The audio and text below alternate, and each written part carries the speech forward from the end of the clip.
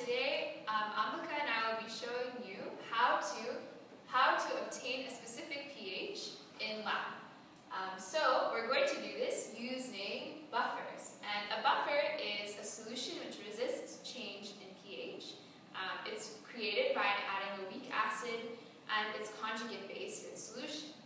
Um, so what we're going to try to do is create a pH of 9 in a PCR reaction, which a common reaction in biology labs where they're working with DNA.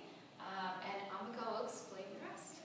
So to obtain the pH of 9, we're going to start with a very common um, equation that you'll see in your chem class. And so this is called the Henderson-Hasselbalch equation.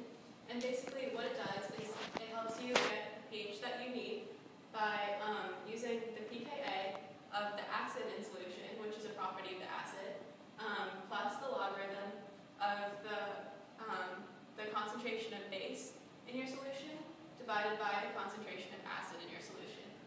So to start, we know that we want a pH of 9, so we're going to put in 9 for pH. And we know that the pKa of ammonium is 9.24. Again, it's a property of the acid. And so we plug those both in to our equation, and we don't know the concentrations of acid or base yet, but we will figure out how to get there later on. And so as we simplify this, we get to um, negative 0.24 equals log um, base over acid. And we can rewrite this expression so that it says 10 to the negative 0.24 equals the conjugate um, base over the concentration of base over the concentration of acid.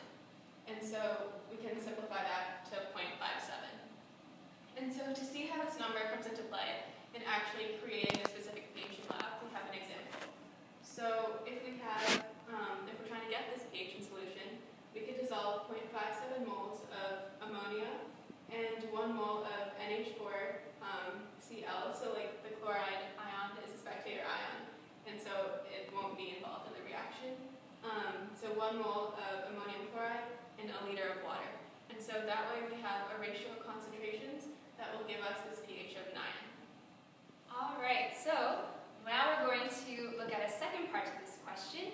What if we needed to do PCR reaction with shorter fragments and needed a pH of 8.4? Um, so one thing that we could do is add um, a strong base, NaOH, and what would happen is NaOH would dissociate and these hydroxide ions would react, would um, collide as shown here with hydronium. Um, and when they collide, they'll form water. So the concentration of water uh, will increase and the concentration of hydronium will decrease. And Le Chatelier's principle tells us action is going to shift to the right in order to compensate for that loss in concentration. Um, and as a result, we're going to have, um, as a result of the addition of this strong base, the pH will go down, but it will not change as drastically um, as if this, if, if, this were not a buffer, it would change more. But because it is a buffer, um, we can control the change in pH a little more. So this allows us to get closer to 8.4